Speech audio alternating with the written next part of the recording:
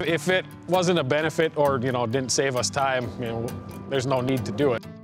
As soon as drones were kind of coming out, they kind of said, look into this, see how we can use this. Is it a benefit to us? A few years ago, back in 2015, we decided to look at drones for bridge inspection.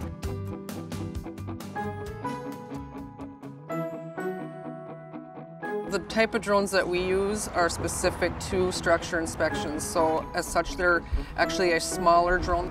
These are only anywhere from a, a pound up to five pounds. So they're not very big and they're easy to fly and uh, they don't require closing down lanes of traffic. It's just making it safer for the inspectors, you know, anybody performing the job. You're eliminating some of the slips, trips, and falls. You're also, you know, not setting up a ladder unless you absolutely had to. We use cameras as inspectors anyways to get pictures of bridges and any um, deficiencies that we see. And the cameras on the drones typically are a lot better than our handheld ones that we have. Plus we have that ability to take video so you can get a whole look at a bridge and not just what the inspector chooses to take a picture of when and where. Uh, you're looking for any kind of deterioration in the concrete, like a crack, a, a spall, uh, any kind of exposed rebar, uh, rust staining, signs of water leakage, any other you know defects that you know might be in there.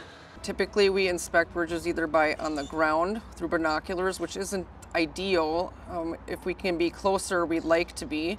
We also have under bridge inspection vehicles, which are called snoopers, and we do have a fleet of those at the state. But those are also limited into where they can get into because they're, they're big pieces of equipment. A snooper truck is a vehicle that lifts a person over the rail underneath the bridge to inspect the beams, uh, the bearings, any kind of you know pier cap, anything that you can't access from the ground.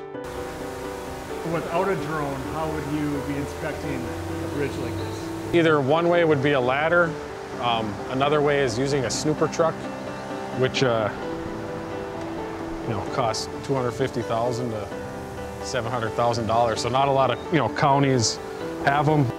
It's more cost effective to get at um, locations that you weren't able to get to before. Because I mean, you know, this this pier here, you're looking at 20 some feet. I mean, there's not a lot of people that have ladders that tall to get at, you know, these areas.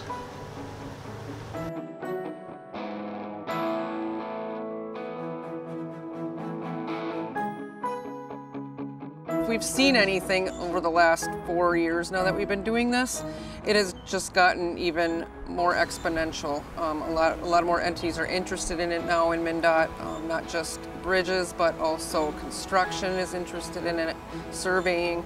There's just a lot of other areas that would like to use this technology. There's no need to um, reinvent the wheel on this. Always and foremost, go through the Office of Aeronautics first before you do anything drone related for work. Because there are a lot of rules that people don't realize between flying a drone recreationally and flying it for a business purpose. The rules completely change. There's a lot of stipulations and a lot of paperwork and, and things to know, a lot of rules to follow.